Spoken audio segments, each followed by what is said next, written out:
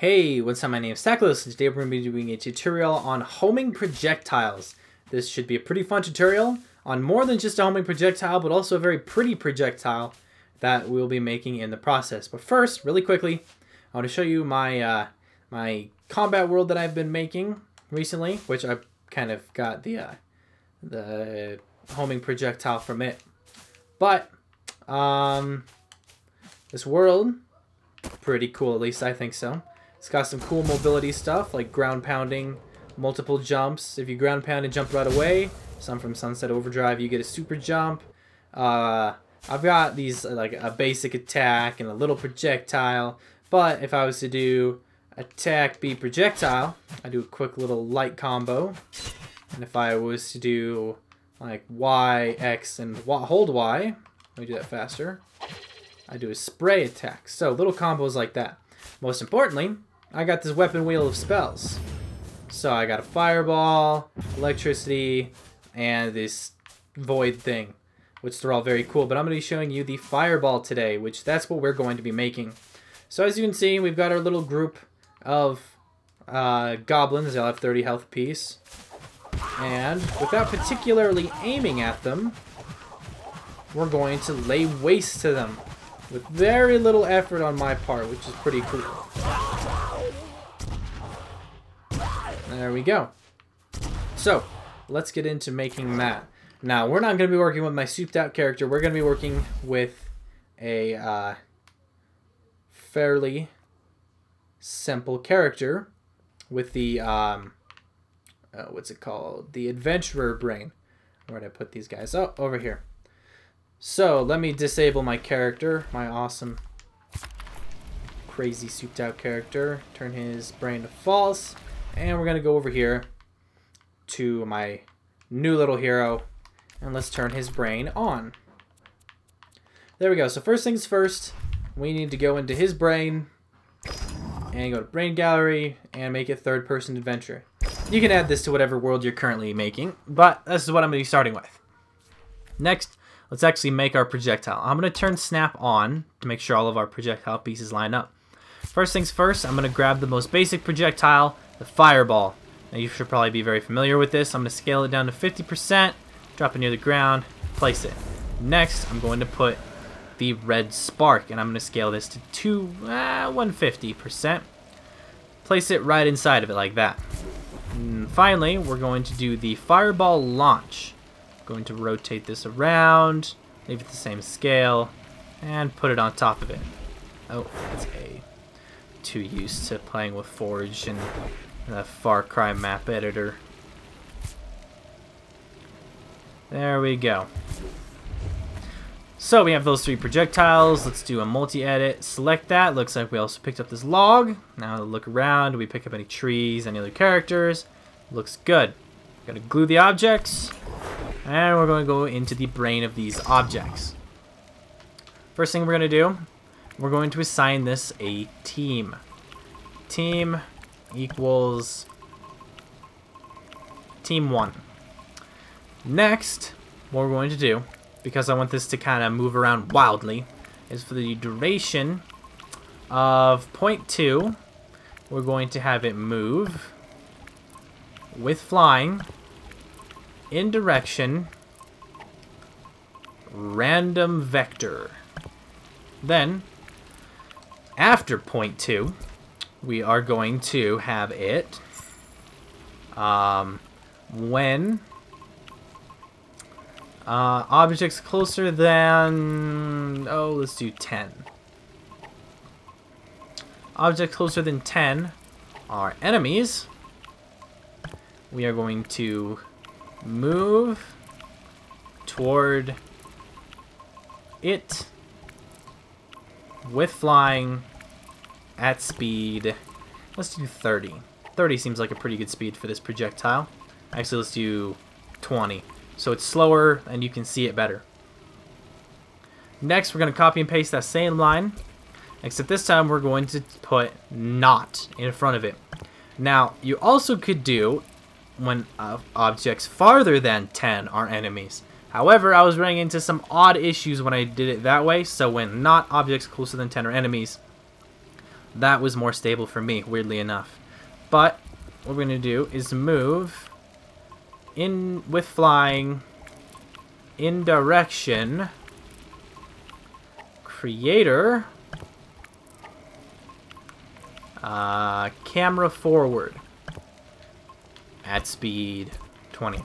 Now what I love about this is that first uh, you can kind of curve the shots that you take when you fire this projectile by moving the camera around, assuming that it's not homing into an enemy.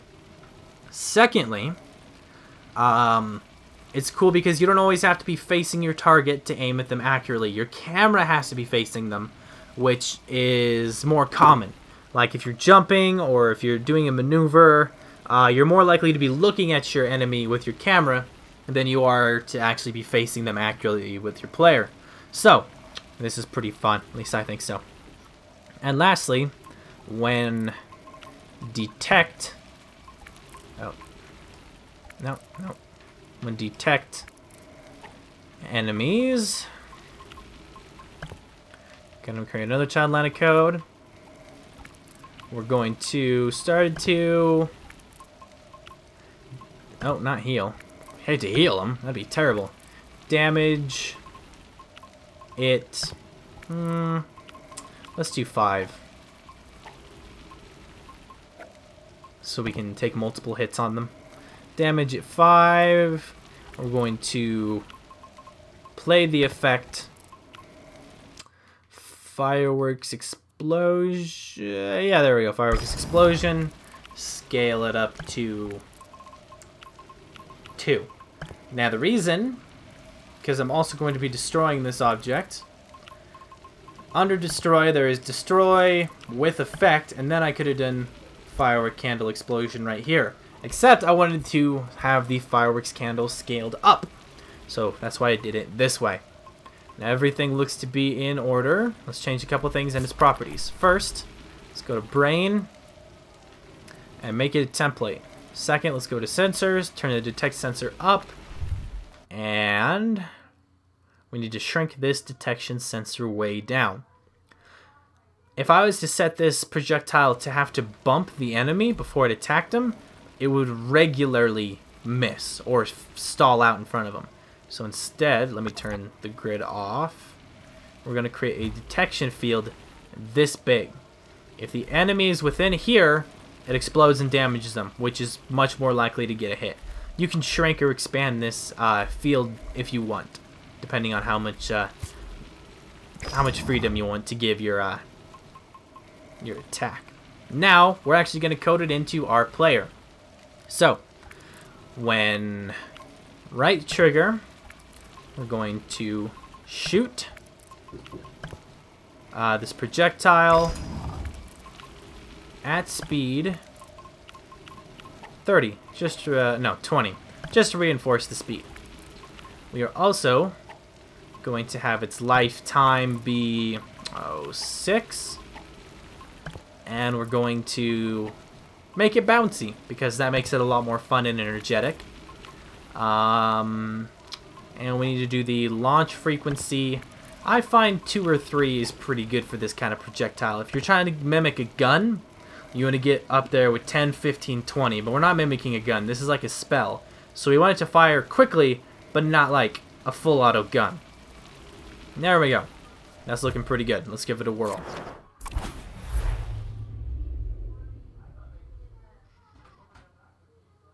If you guys are hearing lots of voices in the background, uh, we're having family stay with us for a few days, weeks, maybe a month. Oh, that's my little mini tutorial. Let's skip through that. It's cool though. Because, well, that was part of the tutorial. Ignore that. But, um, if you hear voices in the background, that's my family and their kids. So, um, yeah. I'm doing my best to try to make it quiet, but you know how it goes. So, let's get by our goblins and fire our lovely projectile. Looks like it's working wonderfully. See? It's taking more hits than before because we coded it to lower damage, but we can code it to higher damage if we so wished. So, I hope this tutorial is helpful. Um, hmm. Interesting. projectiles weren't going off. I suspect... Okay, my cat just hopped up on my desk. I suspect it's because I made this detection radius a little bit too small. Let's bump up the size of that a little bit. Really quickly try this again. Skip through my mini tutorial. There we go.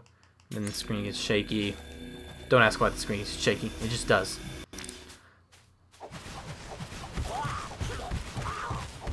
There we go. That's working much better. So, there we go.